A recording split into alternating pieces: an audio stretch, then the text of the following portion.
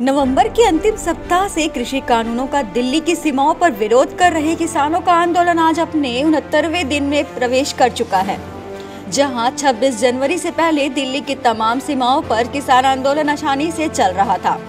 वहीं अब तमाम सीमाओं पर दिल्ली पुलिस द्वारा की गई किलेबंदी और घेरेबंदी से किसानों को ज़रूरी सामान के लिए काफ़ी जद्दोजहद करनी पड़ रही है।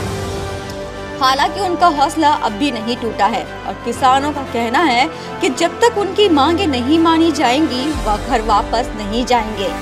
आज शिवसेना नेता संजय राउत भी किसान आंदोलन का समर्थन करने गाजीपुर बॉर्डर पहुँचेंगे।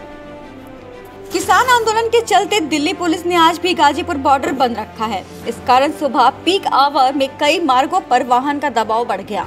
पुलिस ने गाजीपुर बॉर्डर बंद होने के चलते आनंद विहार, चिल्ला डी अप्सरा, भोपरा और लोनी बॉर्डर का इस्तेमाल करने की सलाह दी। दिल्ली के सिंधु, टीकरी और गाजीपुर बॉर्डर जहाँ किसानों का आंदोलन चल रहा है, वहाँ बीते दो दिनों से पुलिस लगातार सुरक्षा व्यवस्था बढ़ाती जा रही है। यहाँ कटेली, तारे, बैरिकेटिंग, सीमेंट की बैरिकेटिंग, खाई खोदने से लेकर नुकीले सरिये भी जा रहे हैं, ताकि किसान और उनके ट्रैक्टर दिल्ली में प्रवेश न कर सके। इन्हीं खबरों और तस्वीरों के सामने आने के बाद कांग्रेस के पूर्व अध्यक्ष राहुल गांधी ने ट्वीट कर सरकार पर निशाना साधते हुए कहा कि भारत सरकार, आप पुल बनाइए, न कि दीवार। भाकियों की राष्ट्रीय प्रवक्ता राकेश टिकैत के आंसुओं ने किसान आंदोलन को ऐसी मजबूती दी है कि उसके बाद से ही गाजीपुर बॉर्डर पर न सिर्फ़ किसानों के आने, बल्कि नेताओं के आने का सिलसिला भी तेज़ी से शुरू हो गया है। इसी कड़ी में आज शिवसेना के नेता संजय राउत गाजीपुर बॉर्डर पहुंचकर किसानों से मिलेंगे और आंदोलन को अपना समर्थन देंगे। गणतंत्र दिवस पर दिल्ली में हुए बवाल के बाद दिल्ली पुलिस ने हरियाणा दिल्ली सीएम पर कड़े इंतज़ाम करने शुरू कर दिए हैं।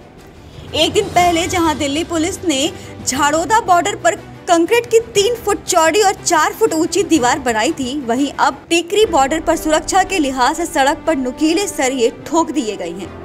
दिल्ली पुलिस ने यह इंतज़ाम रविवार की रात किए। सीमाओं के बंद होने के बाद बहादुरगढ़ से दिल्ली की ओर जाने वाले वाहन चालकों को काफ़ी परेशानियों का सामना करना पड़ रहा है। हरियाणा सरकार द्वारा राज्य में इंटरनेट सेवाएँ बार बार बाधित किए जाने के खिलाफ पंजाब हरियाणा हाई कोर्ट का दरवाज़ा खटखटाया गया। संदीप सिंह वाने ने याचिका दायर कर कहा कि 26 जनवरी को केंद्र सरकार ने सिंधु बॉर्डर गाजीपुर टीकरी मुकरबा चौक और नागलोई के आसपास इंटरनेट सेवाओं को रोक दिया है। इसी के तहत हरियाणा सरकार ने 29 जनवरी को एक आदेश के तहत राज्य के 17 जिलों में मोबाइल इंटरनेट सेवाओं पर रोक लगा दी है, जो अलग अलग आदेशों के तहत अब तक जारी है।